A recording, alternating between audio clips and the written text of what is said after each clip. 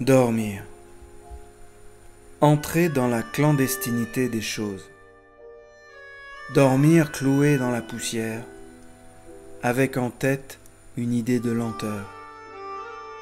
Comme si la mort glissait sur vous ses gras escargots et ses limaces vénéneuses.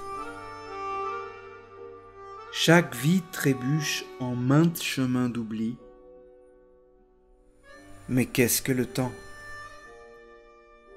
Ce vide en nous dressé d'égales ténèbres, tombeau d'où s'allongent indéfiniment, l'une sur l'autre, des brumes à forme humaine. La dernière portera au maître des apparences une corbeille de neige. Toutes les horloges à minuit s'arrêteront, tous les cœurs tous les mécanismes, la vie n'est qu'un vain duel d'aiguilles. On entend parfois résonner au fond des cavernes le rire d'un cyclope aveugle.